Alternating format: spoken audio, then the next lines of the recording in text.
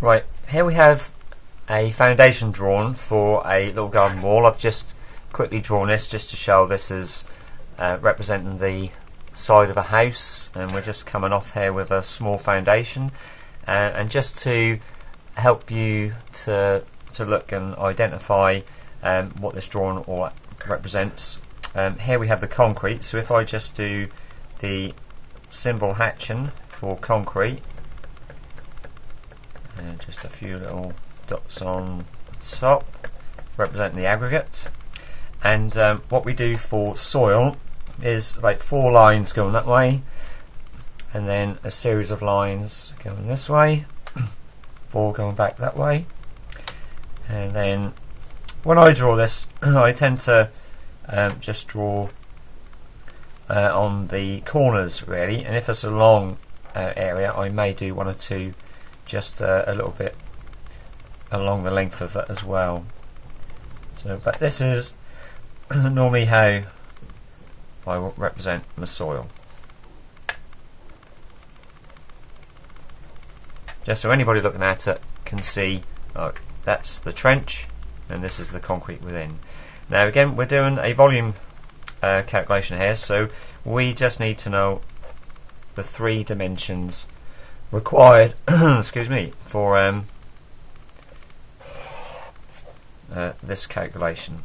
So the length of this we're going to say is going to be 3 meters 200 we're going to say the depth of the foundation. And uh, we will cover depths of foundations in one or two future videos uh, when we start talking about boundary walls. Uh, but uh, just for now, I'm just going to keep to like standard sizes. And uh, the width for the wall, I'm going to say is going to be 450 millimeters, and the depth of the foundation, I'm going to say is 500. So these are the three dimensions that we need to calculate the amount of concrete needed for this trench.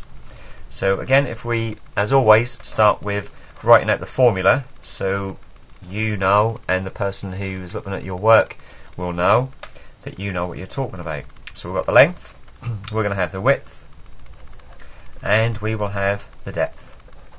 So again, as was said in all the videos so far, uh, these are all written in millimeters, which is probably what you will see on a drawing. So when these come to, if I just write them as we see them on the drawing, in millimeters, as we uh, convert this into a calculation, we need to make this sure that these are all in meters. So the width we've got 450, and the depth we've got 500. I'm going to put that in brackets because they're all in millimeters. For the calculation, we want to make sure they are in meters. So 3,200 uh, will be 3 meters, sorry, or 3.2 meters. And obviously 450 millimeters will be 0.45 and 500 millimeters will be 0.5. So if we just get our calculator involved, we can see here that what we need is 3.2 multiplied by 0.45 multiplied by 0.5 equals.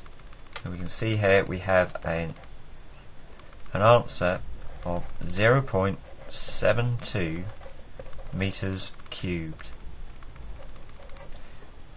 So that is uh, well a mini mix load that well not a load but a mini mix order because you're looking at only three quarters of a meter of concrete or just under. So again, just remember that that is 3 because we've got the 3 uh, dimensions required for a cubic calculation. Okay.